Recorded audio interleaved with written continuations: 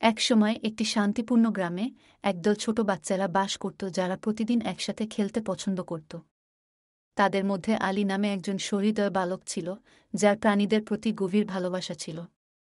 এক রৌদ্রোজ্জ্বল সকালে শিশুরা যখন একটি তৃণভূমিতে জড়ো হয়েছিল, আলী একটি ছোট আহত চড়ুইকে মাটিতে পড়ে থাকতে দেখলেন।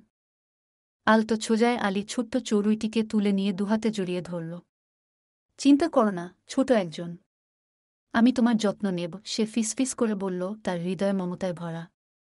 তিনি তার যত্নশীল দাদির কাছে বাড়ি ফিরে যান, যিনি তার জ্ঞান এবং প্রাণীদের জ্ঞানের জন্য পরিচিত ছিলেন।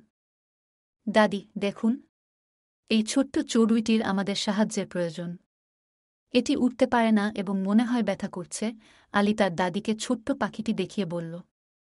তার দাদি হেসে মাথা নাড়লেন, আমার প্রিয় আলী, তোমার একটি সদয় আত্মা আছে।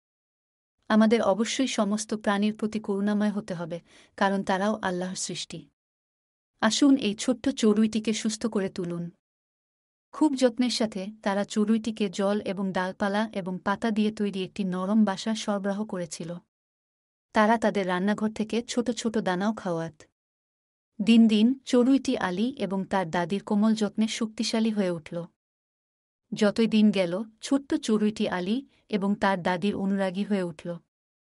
যখনই তারা কাছে আসত তখনই এটি কিচিরমিচির করে এবং আনন্দে তার ডানা ঝাপটাতে থাকে।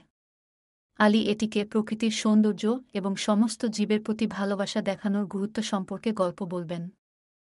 এক সূক্ষ্ম সকালে কয়েক সপ্তাহ যত্নের পরে চড়ুইটিকে সুস্থ এবং শক্তিশালী লাগছিল। এটি তার ডানা ঝাপটায় এবং আনন্দে কিচিরমিচির করে। আলী জানতেন যে চড়ুইয়ের আবার মুক্ত হওয়ার সময় এসেছে। আজ আমার ছোট বন্ধু, তোমার আকাশে তোমার বাড়িতে ফিরে যাওয়ার সময় আলী সুখ এবং দুঃখের মিশ্রণে বলেছিলেন। সে চড়ুইয়ের নিডের দরজা খুলে দিল এবং চড়ুইটিকে আলতো করে তার প্রসারিত হাতের তালুতে রাখল। চড়ুইটি এক মুহূর্তের জন্য ইতস্তত করে কৃতজ্ঞতার চোখে আলীর দিকে তাকাল, যেন ভালোবাসা এবং যত্নের জন্য আপনাকে ধন্যবাদ বলছে। তারপর শক্তির বিস্ফোরণে এটি তার ডানাগুলি ছড়িয়ে দিয়ে আকাশে উঁচুতে উঠে মেঘের মধ্যে অদৃশ্য হয়ে গেল। আলী যখন চড়ুইটিকে উড়ে যেতে দেখেছিল, তখন সে গভীর তৃপ্তির অনুভূতি অনুভব করেছিল।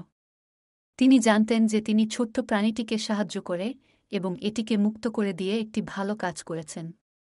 আল্লাহ সকল প্রাণী সৃষ্টি করেছেন এবং তাদের প্রতি করুণা ও করুণা প্রদর্শন করা তাদের কর্তব্য ছিল।